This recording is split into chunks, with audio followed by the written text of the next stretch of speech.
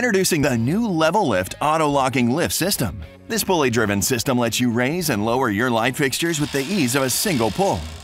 Traditional light hangers are operated one side at a time.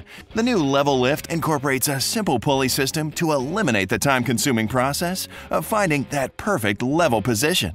Its 2 to 1 mechanical advantage also allows you to lift a 40 pound fixture with a 20 pound pull, all while keeping the fixture level.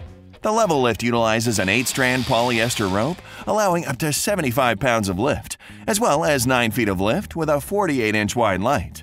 To operate the level lift, use the line handle to pull evenly on the control line. Slide the line handle higher along the control line before each pull. To lower your light fixture, pull the yellow release line to engage the release mechanism. Then simultaneously use the line handle to slightly pull the control line away from the level lift. Now it's important to note that the release line must be used in unison with the line handle.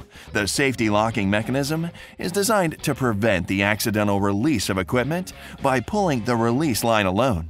The new Level Lift auto-locking lift system is the perfect alternative to traditional hangers.